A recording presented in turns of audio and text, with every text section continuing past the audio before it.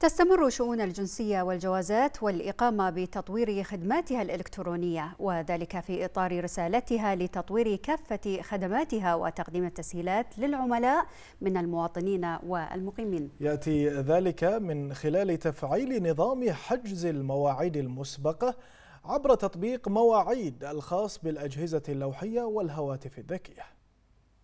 ضمن الخطط التطويرية في التحول من النظام التقليدي إلى النظام الإلكتروني. قامت شؤون الجنسية والجوازات والإقامة بتفعيل نظام حجز المواعيد المسبقة عبر تطبيق مواعيد في حجز المواعيد لزيارة مراكز الخدمة. دشنت شؤون الجنسية والجوازات والاقامه تطبيق مواعيد واللي يمكن مراجعينا الكرام من حجز المواعيد المسبقة في حال رغبتهم بزيارة مراكز الخدمة التابعة لنا سواء فرع المجمع الأمني بمحرق أو فرع مدينة عيسى لإنجاز المعاملات المتعلقة بإدارة الجوازات أو إدارة التأشيرات والإقامة.